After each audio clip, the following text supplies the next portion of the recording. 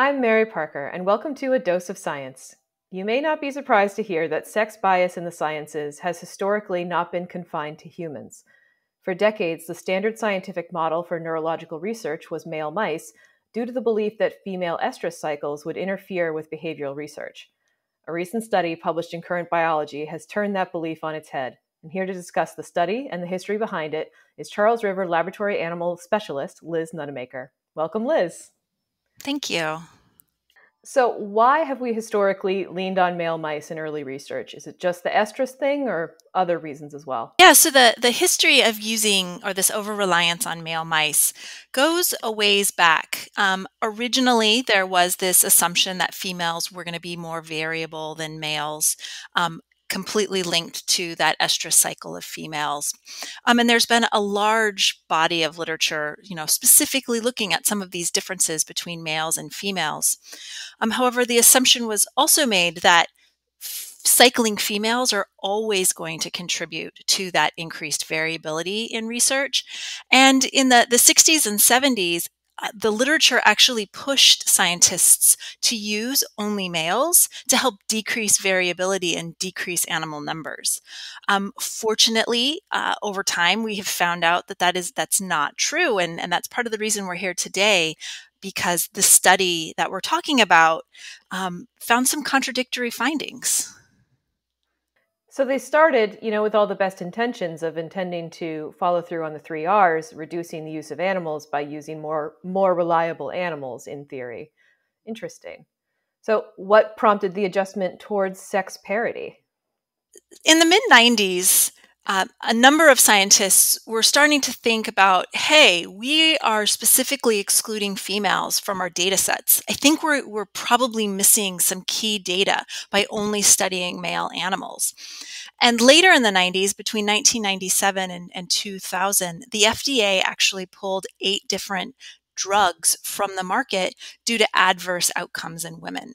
And they were actually able to specifically tie these adverse outcomes back to the way that they were uh, studied. So the situation was as they used uh, male origin cells for their cell culture initial screening studies, then they tested these drugs in male mice and then they capped that off with doing all their clinical trials in males as well. And this led to poor dosing uh, recommendations because they were using um, they were using the same dosing recommendations regardless if you were male or female. And we know that females don't always metabolize drugs the same way, and hence all of the adverse outcomes. Yeah. So you know, part of including new you know both sexes in the studies is this study, which shows that there isn't a big difference between male and female behavior. So, can you describe this study and, and what makes it interesting? Uh, so, previous behavior studies, um, when looking at, at sex hormone fluctuations, um, they've they've had a bit of conflicting results. Some things say there's huge difference. Some things say there's not. The variability is is all over the place. Um, but no one's really looked at the data the same way that this study did. And so this study was specifically designed to tease out what components of the mouse's behavior were due to individual variability or sex hormone fluctuations. And they, they did this, um, and we can see in figure one from the paper, um, in, in, a, in a very smart way. So they prospectively followed 32 mice, ensuring to have 16 males and, and 16 females. And they followed this group of mice over 15 days, doing a session, a behavior session in an open field test every single day.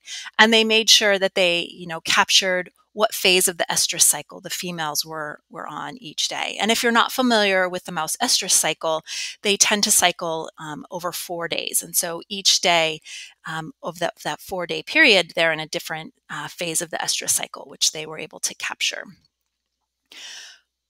So, following these animals over the 15 days um, with video cameras and whatnot, they used machine learning algorithms to specifically break down the spontaneous behaviors into tiny modules. So, they could look at things like rearing behaviors, running, grooming, anything, um, anything you know potentially related to natural behaviors and exploratory behaviors that these mice might be exhi- exhibiting.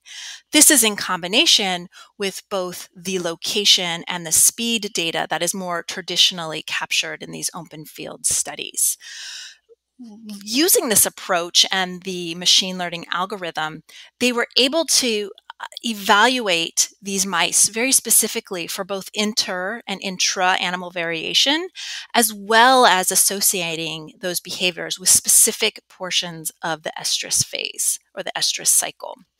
Um, so this allowed them to, to really tease out, you know, what is just this unique individual animal's behavior? Is this true for males and females? And is it the estrous cycle really affecting uh, the the mouse's behavior as well? That's really interesting.